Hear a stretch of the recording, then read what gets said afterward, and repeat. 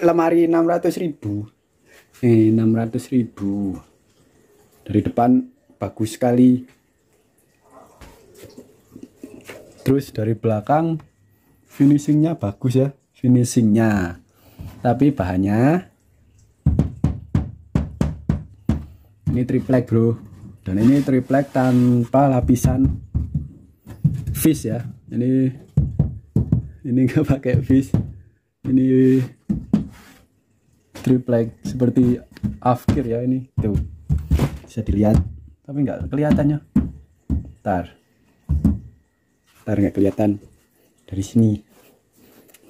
Nah dari sini. Nah. Ini. Ini triplek afkir killer ndelok ini. Ini sikunya nggak lurus nih afkir. Kalau yang atas ini sama tapi udah lumayan 600.000 terus bagian samping ini juga triplek cuman dilapis kayak blobot melamin ya. Nah ini kayunya seadanya. Terus dikasih pernis. Jadinya kinclong kalau enggak di clear tuh bentuknya mantap tapi ini bekas tali jadi jelek. Nih ini batik aneh. Wah variasi ini buat menyamarkan ini depannya dikasih kayu. Nah ini kayu bro. Kayu kayu kayu. Kayu. Kayu. Engselnya gagangnya plastik. Buatan sendiri karena ini. Enggak. Enggak mungkin buatan pabrik. Wah ini payah nih. Nah terus buka. Ah buka terus apa ya? Nih. Nah kacanya enggak siset. Nah ini kacanya kembur-kembur ini sisi bagusnya cuma depannya di kayu ini. Ini kacanya nggak pakem nih. Kalau seru pas ngamuk gini breng gitu langsung pecah. Ini saya pakai helm gitu. nah. Nih wah ini kacanya pasangan kena antok bro. Orang dilebokake. Gitu memang dipalang loro biji loro. Nah ini kayunya juga kayu BS kelihatan nih kasar sekali. Nah ini wah. Nah, ini nggak tahu dikasih apa ini. Ini dempul kayaknya tapi dempul kok bekas kayak. Ini dempul harusnya dikosok amplas. Ini dikosok amplas terus dibersihkan lagi biar nggak membekas. Kalau gini ditaruh di pakaian nanti jadi kotor.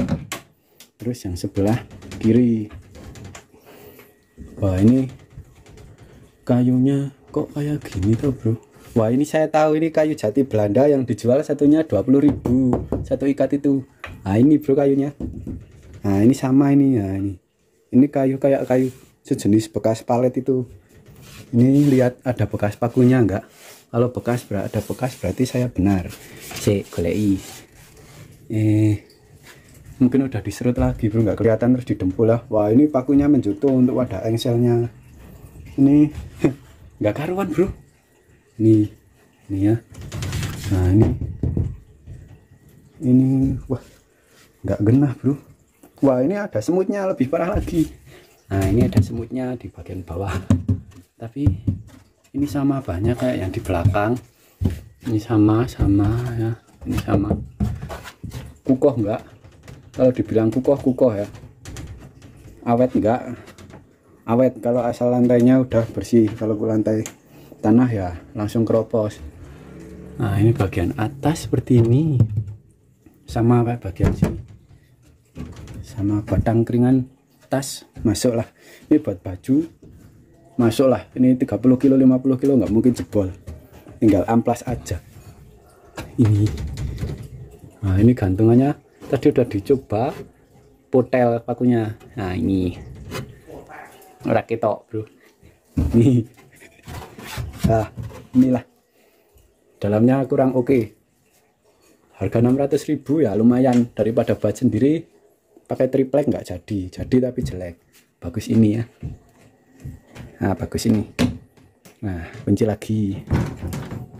Hmm. kesimpulannya ya ada harga ada kualitas nah ini made in nggak tahu. Kalau ada yang beli kayak gini sama isinya kayak gini